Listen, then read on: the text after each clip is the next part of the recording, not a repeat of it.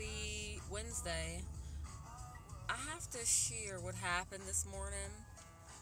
Um, maybe like two days a week, I'll make Jared breakfast, even though, of course, he can eat at school, but you know, trying to keep that little mommy effect thing going. And, um, you know, he's 12, he acts like he's 18, but he's still my baby.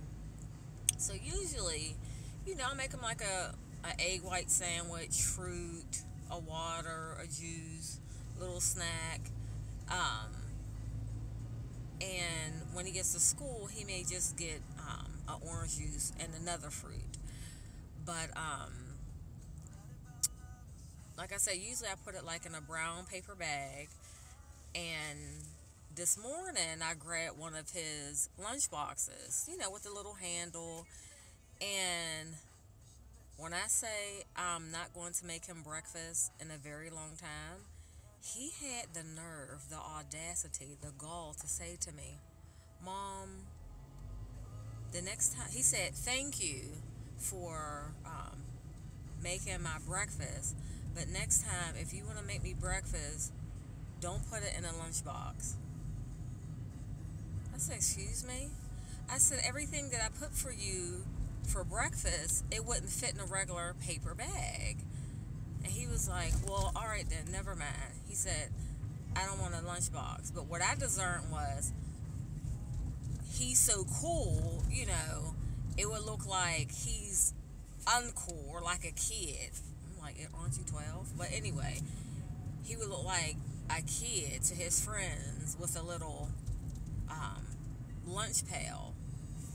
But I'm like, it's not like it was a kitty one. I mean, and that's the thing, kids don't realize the same people you're trying to impress and be uncool, be cool for, you know, trust me, if their parents, if he starts seeing their parents for a week, all the kids got on the school bus with a little lunch pail, they had breakfast in it for them every morning, then it would be cool, you know. Ugh. But yeah, that kind of offended me. I'm just like, are you kidding me? The way that I made you breakfast, but you wanted. Listen, I said, I'm over it. I was just like, okay. And that was it, honey. Like, seriously, do I have the light? I can't tell. Um, but yeah, I'm not going to say I'm not going to do it anymore, but, honey, I'm going to make my own breakfast, and that's it. Or I'll make it after he walks out the door. I was just like, the gall. Like, it was almost another time, like two years ago. I remember um, I made him breakfast, and he got mad at me because I was um, fussing at him about something that he should have did and he didn't. And he said, "Never mind, I don't want it." I said, "What do you mean?" He said, "Well, didn't I ask you to make make me breakfast in the first place." Of course, I shared it with um, my sister Noreen, and she flipped out.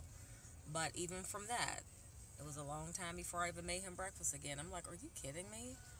I just said the spirit of ungratefulness. Like, seriously. But oh well. Yeah, I just had to get that off me before I totally started my day. Alrighty. Talk with you guys later. God bless. Bye bye.